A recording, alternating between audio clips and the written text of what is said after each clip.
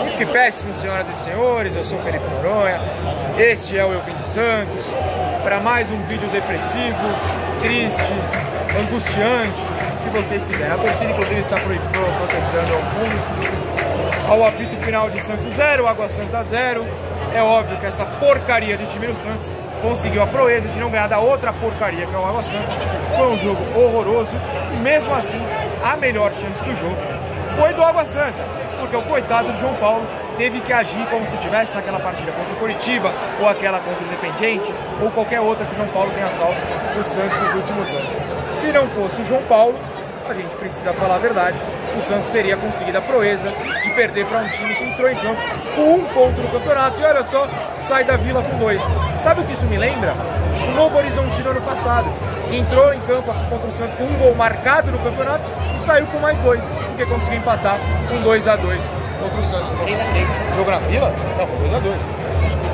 Não, fez um monte de coisa. Então assim, é... é desesperador. É desesperador. Eu, eu não tenho outra palavra que não seja sinônimos de desesperador.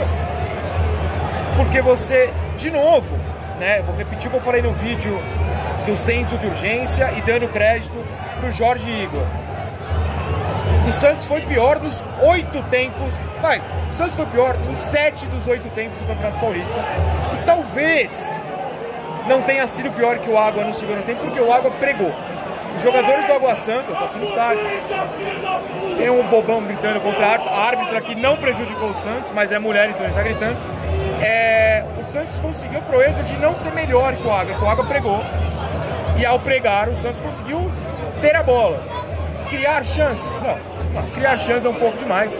Tanto que a melhor chance, entre muitas e todas as aspas possíveis, foi a cabeçada do, do Messias agora no último lance, que assim, foi longe do gol, inclusive foi pelo alto.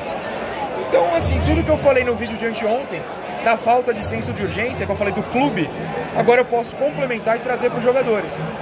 Tirando o João Paulo, que a gente tem a, a, a, sorte, vai, digamos assim, de observar durante o jogo, coisa que a TV não mostra, né? Que ele fica desesperado o jogo inteiro e dá bronca nos jogadores da defesa e tenta falar, gente, não pode virar assim, não pode virar assado.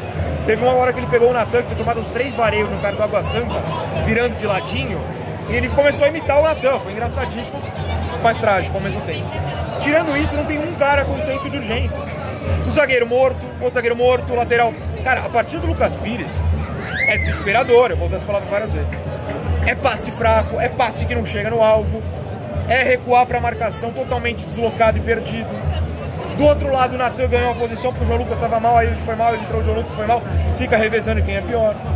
O Rodrigo Fernandes não marca, não passa mais, também não tomou cartão amarelo, olha que coisa milagrosa. O Sandri hoje não foi o que ele foi nas partidas anteriores. O Carabarral entrou e caiu para a esquerda, né? Ele foi o Santos do lado oposto, ele foi tendo aquele deslocamento do pro lado e depois é, e durante isso ele não conseguia pegar na bola. Então ficou o, o time principalmente no primeiro tempo com ele, Soteudo e Lucas Pires completamente é, é, colados um no outro, né? Se bagunçando e não produzindo. Então o time continuou basicamente sem meio. O Marcos Leonardo, quando a bola chegou hoje, vou ter que criticar, mesmo que tivesse impedido, ele tinha que chutar aquela bola, não conseguiu chutar. E, cara, o Ângelo Soteudo, eles driblam, driblam, driblam, driblam, são os melhores dribladores do campeonato em quantidade. O Santos é a única estatística que tem como líder, é no Footstats pelo menos, é o drible, porque dribla de monte. Mas o drible vai para onde? Não foi para muito lugar, né? Dos dois lados. Amanhã, inclusive, falando do Ângelo, eu vou ter que fazer um vídeo. Aparentemente, ele xingou um idiota que o xingou. E eu acho que o Ângelo está corretíssimo, porque a torcida, não a torcida, não vou generalizar. Certos torcedores do Santos não entendem bulhufas de bola e pegam no pé do Ângelo. O Lucas Barbosa não faz nada, não abrem a boca. O Juan, horroroso, não abre a boca. O, o, o, os laterais não fazem nada, não abrem a boca. O Lucas Pires não sofre uma vaia durante o jogo, ninguém abre a boca. O Ângelo fala, ah, é um desgraçado. Porra, tá de sacanagem. Está de sacanagem. Tá certíssimo de rebater. Se eu sou o Ângelo, eu peço pra ir embora. Inclusive, eu não aguento mais torcedor chato, torcedor mala, torcedor que não tem noção que ele tem 18 anos. 18 anos. Tem o, o Juan tem 21. O Lucas Barbosa tem 21. O Ângelo foi jogado pelo Hulk aos 15. Que é pior que o Mendonça? Não é. É pior que o Juan? Não é. É pior que o Lucas Barbosa? Não é. Mas não tem um. Não tem um pra abrir a boca pro Lucas Barbosa, pro Juan, pra quem coloca eles em campo. Não é o Daír só. É Lisca, é Bustos. Todo mundo colocava eles em campo. Mas não abre a boca. O Ângelo pisou no gramado. dois bobões aqui, para não falar outra coisa, lá Caio Ribeiro, bananões, levantaram pro Ângelo, chamaram, vai tomar naquele lugar. Nossa, legal, vamos queimar o moleque. Aí vai ficar na rede social do Santos. O raio brilhou no Real Madrid. Porra, foda-se o Real Madrid. Foda-se o Real Madrid. Eu quero que brilhe aqui. Eu quero que brilhe aqui. Mas com torcedor que queima jogador vai brilhar no Milan, no Newcastle, na Real Sociedade ou no raio que parta. E aí vai ficar na rede social. Nossa, mais um raio, hein? Dane-se o raio, joga aqui, não joga. Não, Rodrigo. Conceito raio, joga aqui, não joga. Porque queimam. Eu perdi a linha, desculpa. Jogador. A tática, né? Até esqueci. Meu Deus, o Kodair fez no segundo tempo. Bom, primeiro tempo, né?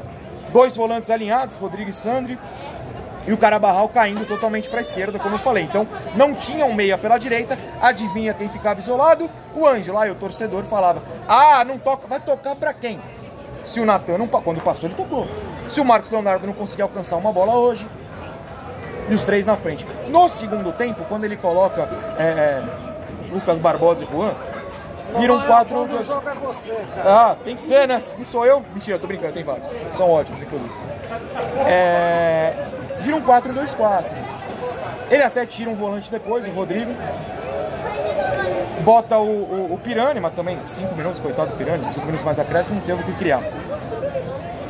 E aí continuou no 4-2-4, mas em vez de ser 4, dois volantes, quatro atacantes, viram 4, dois com um volante, um meia e quatro atacantes. Às vezes o Lucas Barbosa também voltava para pegar a bola, o que significava absolutamente nada, porque ele buscava a bola e perdia a bola, como o Alex está lembrando aqui ao meu lado.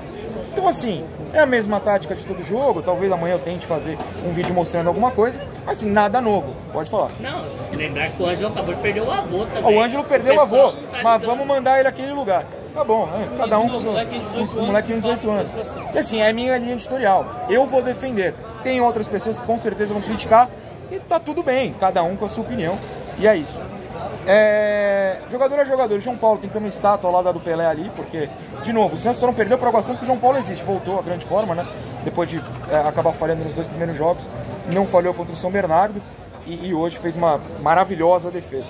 Lateral horroroso, outro lateral pior ainda, a zaga nada demais. É assim, o Messias, o Bauer, não...